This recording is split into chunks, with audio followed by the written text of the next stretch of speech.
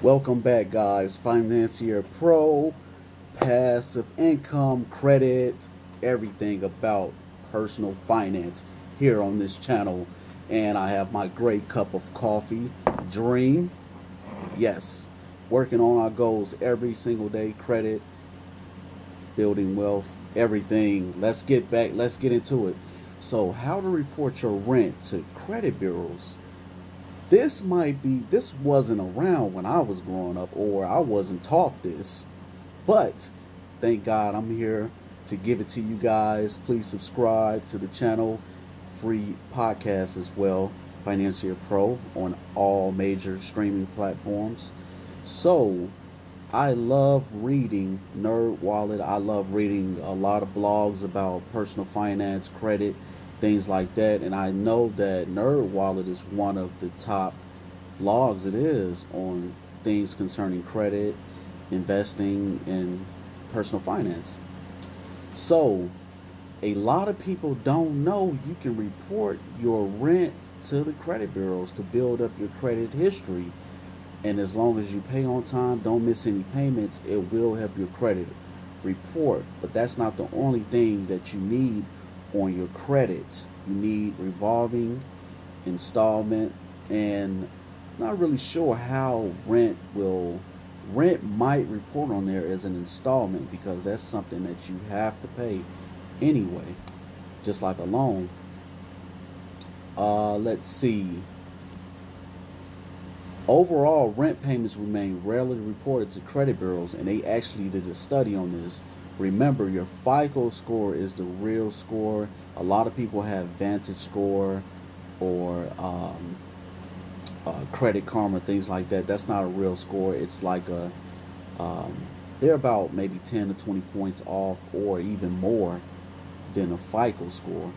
And FICO has different uh, scoring models as well. You have mortgage scoring and car loan scoring.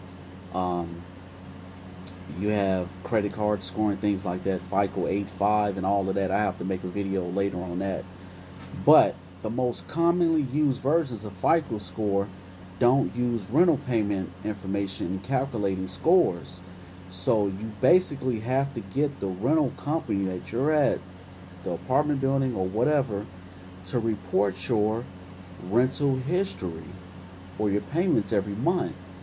And I think that is amazing because what is your biggest debt besides a car payment? Is your rental payments. You know, just like if you go buy a house, that reports to your credit. So why not, if you're going to pay rent, have a report to the credit bureaus to help you out? You guys comment below. Let me know what you think about this. Which services will report rent payments? Some are free, some are not. So you have free services such as I, I'm going to butcher this. ESUSU is a mobile app that helps you borrow money from peers.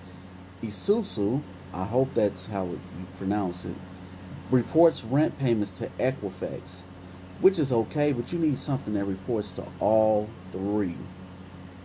Zingo, this service requires you to link your financial accounts to identify rent payments. It works only if you live in housing managed by a property management company, which probably is most of these apartment buildings. Zingo reports payments to Equifax. The service is free for a limited time according to Zingo's website. You can add 12 months of rental history information for a one-time fee of $89.99. But I think that companies like Rent Reporters are some of the top companies, but they only report to TransUnion and Equifax. Cool, at least it's reporting to something. And right now, you probably don't have anything reporting as far as rental history or rental payments. This is a one-time enrollment fee of $94.95. This is for rent reporters, which includes up to two years of reported rental payments. Then the service is $9.95 per month. And like I said, it reports to TransUnion and Equifax. Rental Kharma initial setup is $25 and the service is $6.95 per month. During enrollment, you can report payments made in the previous 24 months for a fee of $60. They only report to TransUnion, and that's Rental Kharma.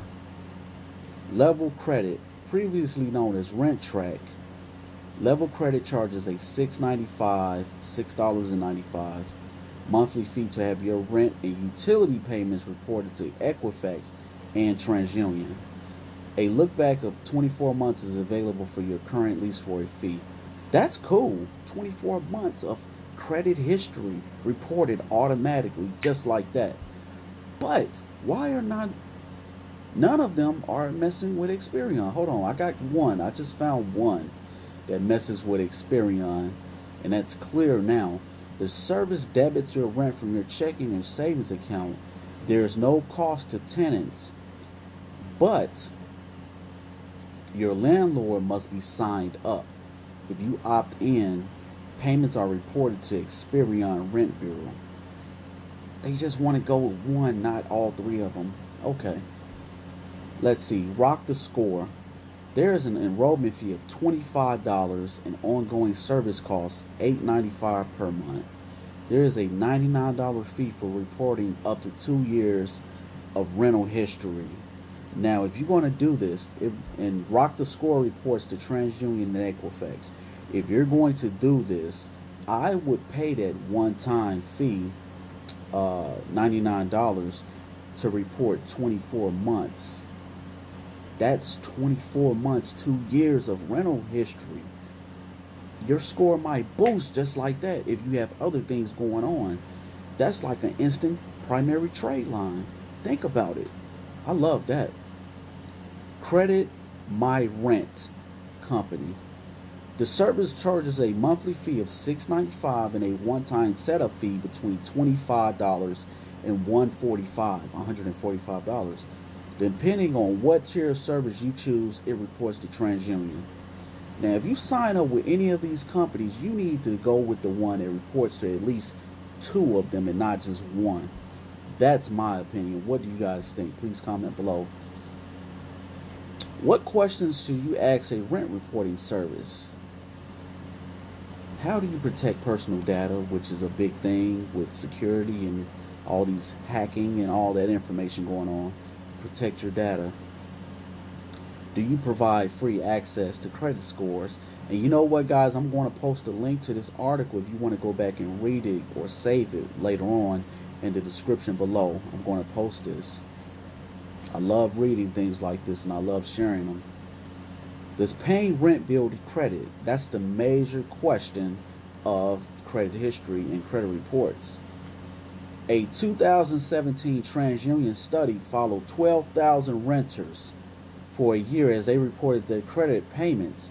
Scores rose 16 points on average within six months after rent reporting began. Now, think about that. Some of these companies will report 24 months of rental payment and add that instantly to your credit reports. Boom. Think about how much your uh, how far your score goes up when that happens. So, you guys look into this, do your history. Don't just go off of what I say or anyone else. Do your research. I'm sorry, do your research, and um, let me know what you guys think in the comment in the comments below. Please subscribe to the channel, Personal Finance, Financier Pro. We're all about building wealth here, generational wealth Thank you guys for being here. See you next time.